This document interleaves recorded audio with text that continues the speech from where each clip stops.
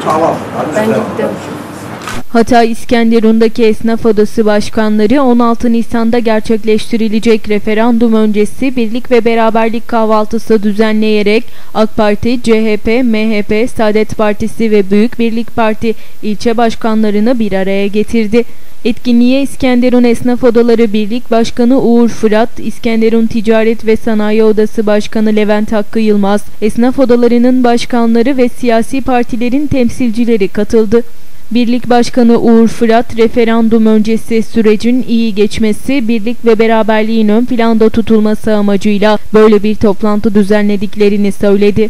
Fırat, Türkiye bizim ülkemiz, gemi hepimizin gemisi, vatan hepimizin vatanı. Kahvaltımız herhangi bir siyasi içeriğe yer vermemekte. Unutulmasın ki başka Türkiye yok. Bu sebeple birlik ve beraberlik içerisinde bu zor günleri de atlatacağız dedi.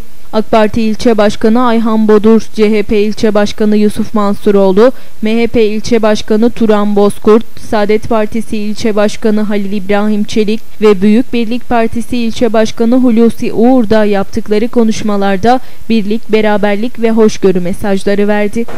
Öncelikle şahsım ve e, arkadaşlarım adına başkanlarımıza böyle bir organizasyonla bizleri bir arada toplayıp bir araya getirdiğinden dolayı teşekkürlerimi, şükranlarımı iletiyorum. Şunu öncelikle belirtmek istiyorum. Arkadaşlar hiç kimse bu seçime siyasi bir seçim olarak bakmasın. Biz ola, biz öyle bakmıyoruz. Asla bir siyasi seçim değil.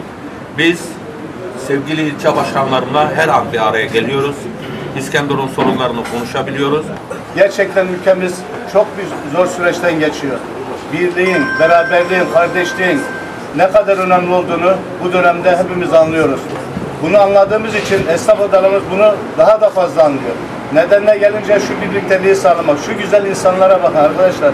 Gerçekten ben sizlerle onur duyuyorum, mutlu ediyorum. Her şeyden önce şuna çok ihtiyacımız var. Birlik, beraberlik ve kardeşlik şiarımız olması lazım. Hiç kimseyi ötekileştirmemiz yapmamamız lazım. Hiç kimseyi ayrımcılık yapmamamız lazım. Herkesin fikrine saygı göstermemiz lazım.